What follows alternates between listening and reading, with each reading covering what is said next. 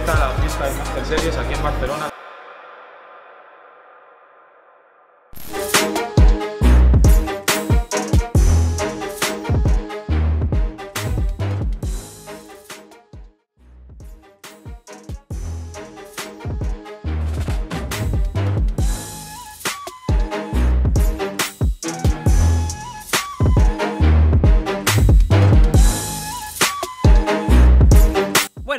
Y en esta ocasión vamos a repasar todo lo que nos dejó la jornada 8 de la FMS México que va llegando a su fin y está en búsqueda del segundo campeón de la historia. Acompáñame. El pasado sábado 13 de marzo tuvimos la oportunidad de disfrutar de la octava jornada de FMS México, la cual se encuentra ya a un paso de su gran final y de conocer a su nuevo rey. Por ende, esta fecha tuvo cruces que definieron qué freestylers aspiran al título y además ha cerrado aún más la lucha por el descenso.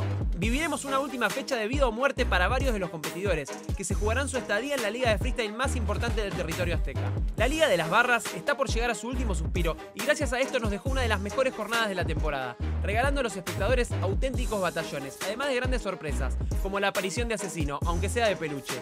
Y sin lugar a dudas, la bomba de la noche, el soberbio nivel mostrado por Stigma, el rey de la plaza que sacó a relucir una de sus mejores versiones. Ya soy potencial exponiendo la mitad de mi exponiendo con esquimiento lo que tengo al rapear. Y conocer yo no miento, yo solo sé contestar. En la primera batalla de la jornada se enfrentarían Joiker y Lobo Estepario, dos competidores que todavía mantenían chances matemáticas de luchar por el campeonato.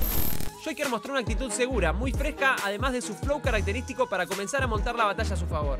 No tienes energía, yo siempre me distingo. Dice este cabrón que yo era Homero Simpson. Mi lírica yo veo como en el beat te atropella. Y mientras estoy trabajando veo, hazlo por ella. Ah, ¿Qué creías, verdadero fan? Yo te lo pongo, papi, yo no tengo plan. Por eso es que conmigo, por favor, no te compares. Y en el desayuno lo hago con ojivas nucleares. Ah, sin embargo, un experimentado como Lobo no permitiría dejar ir la batalla de manera tan sencilla.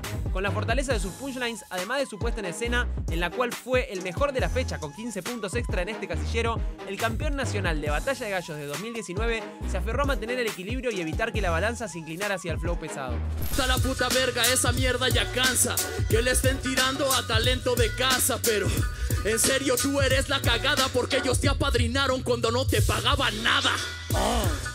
Y eso es muy en serio, siente el talento que yo pongo en la mente. Dice no es lo mismo, me está hablando de agente puntuación 007. Tras una batalla peleada, los jueces determinaron la máxima cantidad de réplicas que permite el formato FMS. Y luego, tras tres votos a favor, los dos puntos se fueron al bolsillo de Lobo Estepario, quien llegará a la última fecha con opciones matemáticas de levantar el campeonato. El segundo cruce de la jornada sería el choque entre RC y Garza.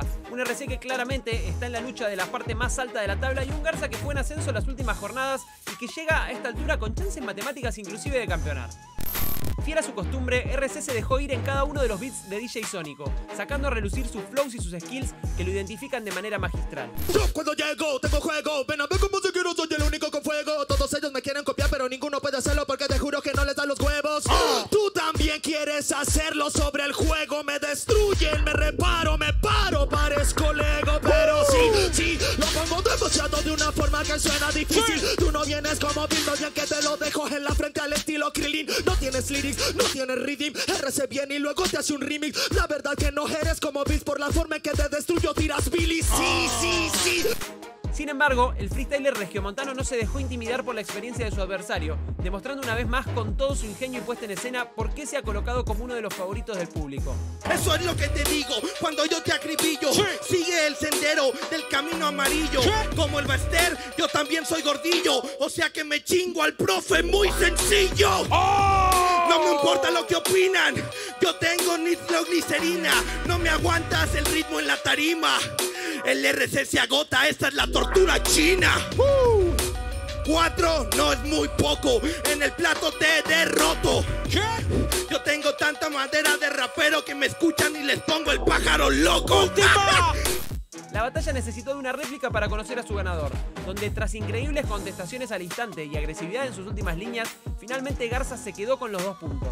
Una Tecniqueada, contenido muy nulo. Réplica, yo ya la había partido todo el culo. Puntuar más porque históricamente eres duro. Por aferrarse al pasado se pierde de un buen futuro. El tercer enfrentamiento del día enfrentaría a dos bicampeones de las batallas de gallos de México. Estoy hablando de Raptor y Johnny Beltrán. El primero con chances muy claras de aspirar al título y con la necesidad de ganar para mantenerlas. Y el otro, Johnny, en cambio complicado con la zona baja de la tabla y con la necesidad de cortar una racha de cinco derrotas consecutivas. Sin lugar a dudas, ambos MCs dieron una gran presentación, llena de agresividad y demostrando en cada momento sus intenciones de hacerse con el triunfo. Que se vayan los humanos del escenario. Yo soy más natural, por eso mi flow es del tamaño de un puto dinosaurio. Dímelo, dímelo, como dice el skipper, admítelo. Mortífero. Este no me gana, no dura. Este no me gana, no modula. Yo sí fluyo. Dime dónde está tu orgullo, basura. Última. Tu madre en este puto día que creías que no estoy rapeando con tanta algarabía Mamma mía, mi habilidad está demostrando que es una sinfonía ¿Han escuchado sus discos? Son una porquería Tiene tanta basura que te dieron el premio a la ecología Bro, se nota que no me duras Apenas si tú perduras Que pensabas estar a mi altura Pero neta que te quedas en penumbras No, yo tengo tanto nivel que me premiaron a estas alturas. Tú eres Oscar, yo gané un Oscar Tú saliste de una basura. Por segunda fecha al hilo, Johnny B mostró una gran actitud en el escenario, junto a la musicalidad que ha venido mostrando en esta temporada. No, pero tan solo tiene líneas que son demasiado planas Este me hablo de grito canta que improvisa. Tu flow es como la mona, demasiado lisa. No tienes variaciones, no tienes esos punch. En tu puta vida vas a rapear como yo. Que corto la cabeza, es obvio que me cueste. Te gano con el cerebro, soy enemigo de Dexter. ¡Última! Toda la gente me está celebrando. Quiero que apunten siento que te noqueo. Yo sé que soy un payaso, pero no me ando con rodeo. No sería suficiente para doblegar al actual campeón mundial. Tras cinco batallas ganando de manera directa, en esta ocasión tuvo que sumar unidades desde la réplica. En ella, se mostró superior y más agresivo y se consolidó en la cima del certamen. Aprendan a votar bien, como me dice que este rapero se nota que no tiene fluidez. Es una estupidez. Que no votan, están detrás de las líneas, lanzándome los tres. ¿Sabes? El cuarto enfrentamiento de la jornada enfrentaría justamente a Potencia y a B1 en un choque crucial para el descenso, en lo que tiene que ver con los puestos bajos de la tabla. Potencia llegaba con el ánimo alto tras una victoria en su última jornada, mientras que B1 se jugaba una de sus últimas cartas para mantenerse en la liga. El capitalino dejó claros sus deseos de mantenerse en la liga. Dio una excelsa demostración de su crudeza y por si fuera poco, sorprendió utilizando como recurso una de las mayores cualidades de su rival, el flow. Es un jinete que anda buscando su gran cabeza. Yo también tengo el estilo que este cabroncito piensa que cualquiera no lo saca hasta que siente que inocencia. Tengo yo una voz que tiene mucha inocencia. Este cabroncito me quiere sacar provecho a lo que tengo que decirle solo porque hay un helecho. Pero yo me siento en las voces inocentes porque tú te sientes calle, yo te suelto bala y techo. Potencia salió a ganar sea como sea, consiguiendo así su segunda victoria directa de la temporada, haciéndose de tres puntos que son oxígeno puro para su permanencia en la liga y por si fuera poco, dejó prácticamente condenado al descenso a B1. Este no es como Ricochet, quiere andar rico en un coche, yo le doy rico, oh shit. Este güey me va a soltar un reproche, cuando me vi cartera siente que tengo reproches de roche.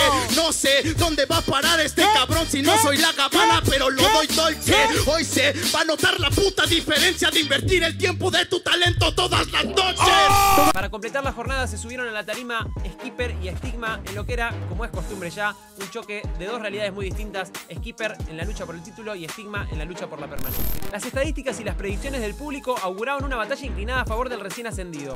Sin embargo, el Rey de la Plaza mostró la convicción de buscar la permanencia en la liga.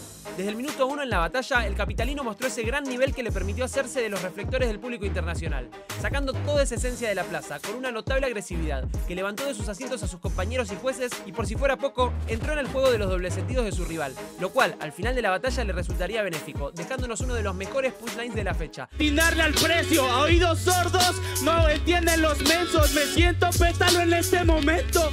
¿Entendieron mi rollo? Me vine a cagar en el regio, puta. O yo te estoy matando. Agarro los objetos y lo estoy utilizando. Ahí dice Flores, están guachando. Dice Flores porque al puto yo lo estoy enterrando. Enterrando. Skipper, que necesitaba una gran presentación, pero sobre todo la victoria de manera directa, no le dejó tarea sencilla a su oponente. El regiomontano se puso a la par de su nivel, despuntando con su ingenio y puesta en escena y poniendo a bailar a los presentes con un magistral beat de Sonic. Mira como digo, yo soy el que le pega de modo definitivo. Es chido. Miren cómo yo lo he jodido. Lo puedo matar hasta con pasos prohibidos. Miren nada más. ¿Qué pedo me la saco? Una batalla de alto vuelo, considerada por muchos incluso la mejor de la fecha, en la cual tras la réplica sería Stigma el vencedor, completando su gran actuación con su primer MVP de la jornada. Es una prueba, pero no es de cobardía. Yo sé que Stigma siempre desafía. Le diste la coluchi este día. Estás de rebelde porque yo vi que esa era mía. Ay, sí. Haciendo un repaso a la tabla de posiciones, además de sumar tres unidades en su batalla de reposición ante Lobo Estepario, con su victoria ante Johnny B, Raptor se hizo acreedor del liderato con 18 puntos, aún con una batalla pendiente ante RC. En segundo lugar aparece Lobo, quien al vencer a Joker mantiene las aspiraciones al título con 17 unidades. En el tercer puesto se encuentra Skipper, quien cayó en la réplica por segunda jornada consecutiva. Sin embargo, eso lo mantiene en el podio del certamen con sus 15 puntos. Con su tercer triunfo al hilo, en la cuarta posición de la tabla con 15 puntos se encuentra la revelación de la liga, Garza, quien en la última jornada buscará consolidar una gran temporada de estreno y colarse dentro de los mejores tres del torneo. En la quinta posición de la clasificación está el profe, RC, quien con 15 unidades y una batalla pendiente ante Raptor tiene en sus manos la posibilidad aún de coronarse campeón de esta segunda temporada. Tras su derrota ante Lobo, Joker se quedó en la sexta posición con 14 puntos. Potencia ha escapado de la zona de descenso y ahora con sus 8 puntos se ubica en el séptimo escalón. En la zona baja de la clasificación, el octavo puesto con 6 puntos es para Johnny B. Con el MVP en mano y una soberbia exhibición, el noveno lugar de la tabla es para Stigma. Y finalmente, en la última posición de la tabla se encuentra B1, quien mantiene chances matemáticas aunque muy complejas para evitar el descenso. De esta manera damos final al resumen de la octava jornada de la FMS México 2020-2021. Estén atentos para saber quién va a ser el sucesor de Asesino, quién se va a quedar en la liga, quién no se va a quedar en la liga. Y obviamente en las redes sociales de Urban Rooster ya van a estar teniendo la información necesaria para seguir la jornada final de esta FMS, la Liga de las Barras, la Liga Azteca. El guion fue escrito por Daniel Cruz, espero que lo hayan disfrutado. Yo soy Juan los acompañé hasta acá y nos vemos en la próxima. Adiós.